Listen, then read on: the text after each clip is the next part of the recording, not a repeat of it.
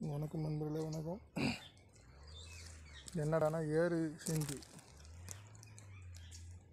ஏறு செஞ்சியோட இது தான் பார்க்குறோம் பாருங்கள் இப்படி தான் இருக்குது